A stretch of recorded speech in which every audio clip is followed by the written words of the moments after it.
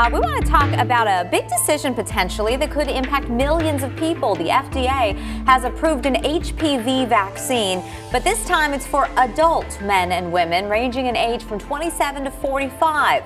So, is this for you? And how does it impact you? And what does HPV do to you? Dr. Sharon Thompson is joining us to answer some of those questions. She's with Central Phoenix Obstetrics and Gynecology, and this will be an important topic, I imagine, uh, when you're seeing patients because this was not an opportunity before. Absolutely. And when the vaccine was approved for young people, yeah. 9 to 26, a lot of older women asked, mm -hmm. you know, mm-hmm. can I get can this I get vaccine? This?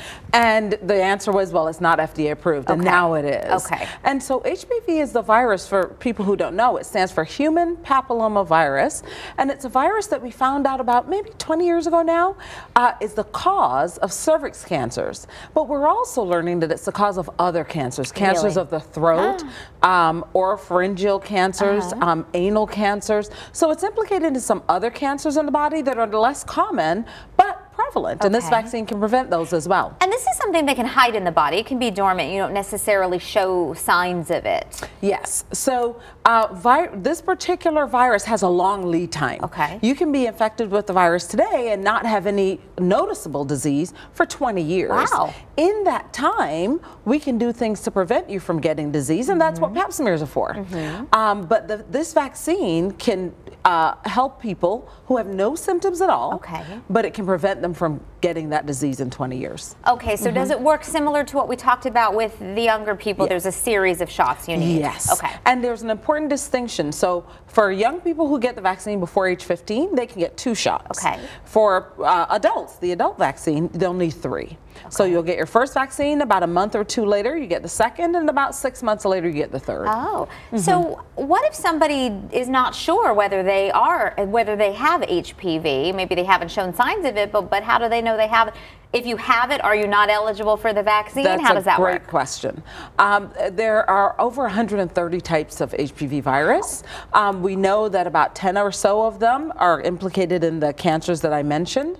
And so you may have had one, uh -huh. but it's unlikely that you've had all nine. So even if you know that you have one HPV uh, virus in the past, the vaccine can still be helpful and oh, we still recommend it okay. because it protects against nine. Oh, that's interesting. Mm -hmm. Now, we're talking mostly about women, but is this something for men as well? Yes. Okay. So HPV vaccine is approved for boys, girls, men, and women. Wow. Yes, because cervix cancer affects women only, but the oral cancers we see more commonly in men, and anal cancers can affect anyone. Mm -hmm. So uh, when patients come to see you, I mean, how often do these conversations come up? And I imagine it's probably uh, best if you bring up, hey, let's talk about, are you aware of these options or not? Yes, so the, the conversations can come up almost anyway. Uh -huh. Most commonly they come up at that annual visit. Okay. And this is one of the reasons why we encourage women to continue to come in for their annual visit, mm -hmm. even if they don't need a pap smear, mm -hmm. so these conversations can happen. Mm -hmm. And so men also, when they go to their doctors, and I recommend going for an annual visit for them as well, mm-hmm. um, to talk about these kinds of questions, preventative measures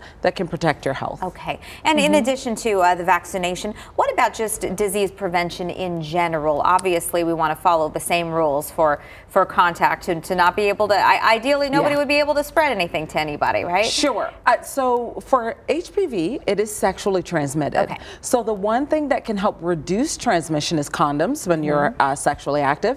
But it's important to note that HPV virus can be spread by skin-to-skin contact. Oh. So even if you use condoms with every part of which I recommend, um, you could still spread HPV. So it's so important to have these conversations with your doctor, get your routine pap smears, and get the vaccine vaccine now okay. that it's available up until age 45. And last question, any side effects to be concerned about with the vaccine? No, these vaccines are relatively safe and you see minor side effects, some pain at the injection okay.